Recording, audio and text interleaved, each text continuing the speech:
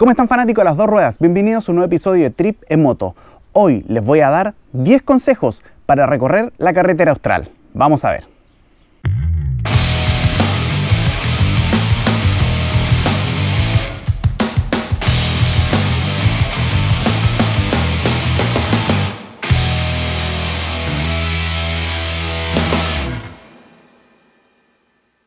Lo primero que deben considerar al momento de hacer carretera austral es cuál es su objetivo del viaje. Si es que es conocer, turistear, recorrer parques nacionales o solamente están pensando en llegar a Villa O'Higgins, el término de la carretera austral. Esto tienen que eh, considerarlo muy bien ya que esto va a ser el punto de partida para alguna de las siguientes decisiones que van a tener que tomar. Por ejemplo, cuántos días van a hacer este viaje, los equipos que deben llevar o el tipo de ropa que van a tener que usar en este viaje.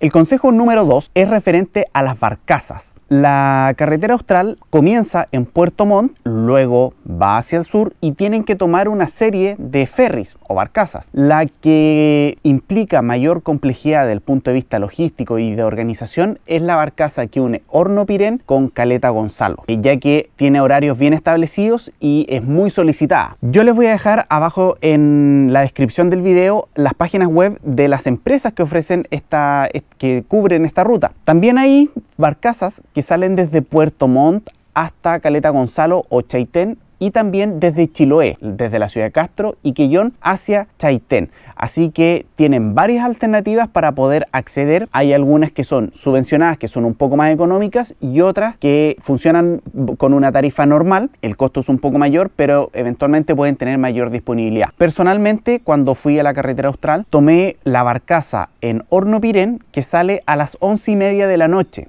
Entonces alojé en la barcaza y al otro día llegamos a Caleta Gonzalo aproximadamente a eso de las 6 de la mañana, 5 y media, 6, y comenzamos camino hacia el sur.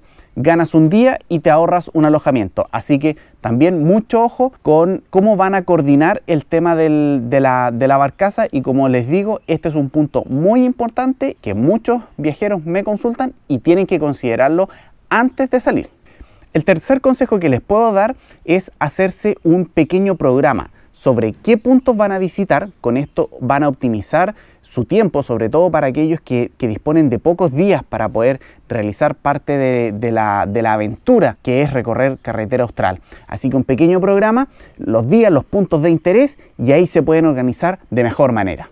Otra consulta que me hace mucho es acerca del estado de los caminos y el tipo superficie que hay en estos. De los 1250 kilómetros aproximadamente que tiene la carretera austral, hay cerca de 400 o 500 que están aún con ripio, con grava o están en obras. Todo el resto es pavimentado. Principalmente los caminos de ripio se encuentran desde Villa Cerro Castillo hacia el sur.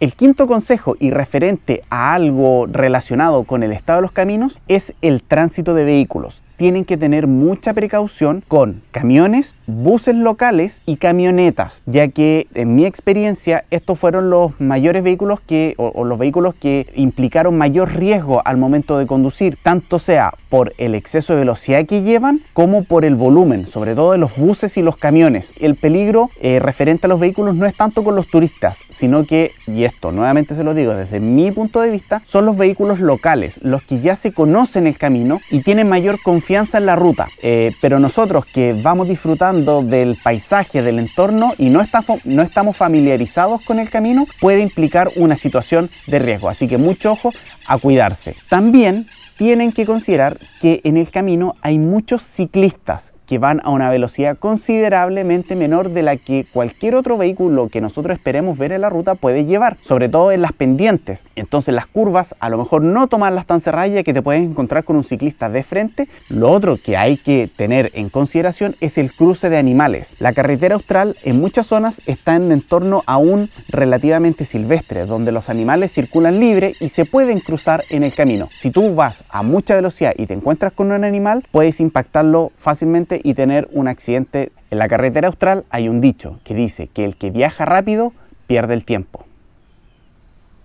El alojamiento. Hay muchos lugares para hacer camping, hay cabañas y hay hostales, pero dependiendo de la temporada puede ser que te encuentres con muy poca disponibilidad. Mi recomendación es que salgas con algunas reservas hechas de algunos lugares que tú sabes en los cuales vas a usar como punto base y luego desde ahí salir a visitar.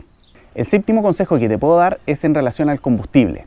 En general, en la carretera austral hay una buena, red de estaciones de servicio, así que no debería ser un tema, salvo que tú decidas desviarte muchas veces del camino principal y tengas un consumo mayor. Mi recomendación es que en cada pueblo o ciudad que puedas estar, repostes combustible, cosa de siempre tener eh, esa libertad de poder salirte del camino, visitar nuevos lugares y no estar con la preocupación de que te puedas quedar sin combustible.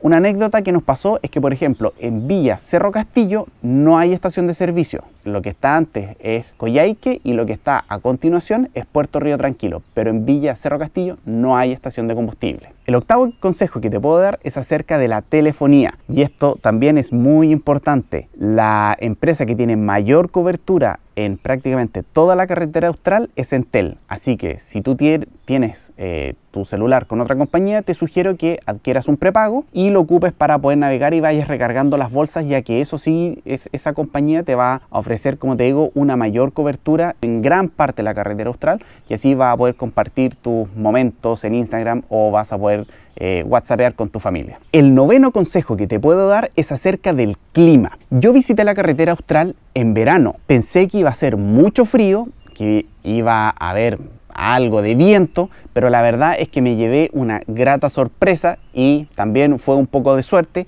ya que no nos llovió ningún día y la sorpresa fue que las temperaturas no fueron tan bajas como yo pensé. Traje prácticamente a pasear eh, ropa de primera capa y todo eso. Ahora, si tú vas a acampar, puede ser que sí requieras algo más abrigado. Pero, como te digo, la tónica en verano no son temperaturas tan bajas, pero siempre tienes que considerar llevar un traje de agua.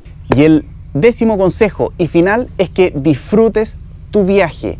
La carretera austral es maravillosa. No te preocupes acerca de si tu moto o tu vehículo es capaz de llegar o no. La verdad es que los caminos son muy buenos, los paisajes son maravillosos, increíbles. La naturaleza te regala la carretera austral. Así que si tienes la oportunidad de visitarla, hazlo. ¿En cuántos días? Eso va a depender de tu estilo de viaje, de tu disponibilidad de tiempo, puedes ir seccionando el, el, hacer o visitar la carretera austral, puedes usar eh, barcazas para llegar un poco más allá, así que eso te lo dejo en tus manos. Espero que este video te haya servido, te haya gustado, compártelo con tus amigos y sígueme en redes sociales, Facebook, Instagram, Twitter y YouTube como Trip en Moto. Así que amigos, me despido desde acá, desde Motocamp y les deseo que tengan un buen trip en moto.